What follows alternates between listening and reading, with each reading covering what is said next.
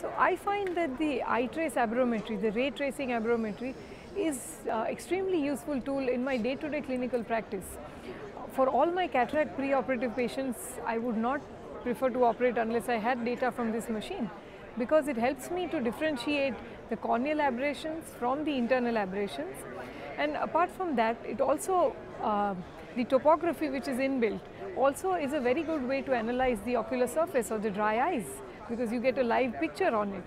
So I think uh, in analyzing the angle alpha more than 0.5, the RMS value of higher order aberrations more than 0.4, these are uh, sort of red signals for me to perform a multifocal IOL implantation.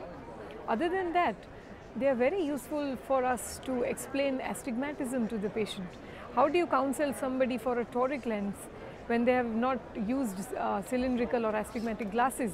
Well, you show them that your corneal astigmatism is being compensated by your lenticular astigmatism and it becomes so much more easy.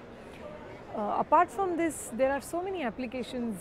We do a lot of these in children, in subluxated lenses, even in refractive surgery. It helps you to understand and uh, rule out unhappy post-operative patients as well as make the right decision pre-operatively.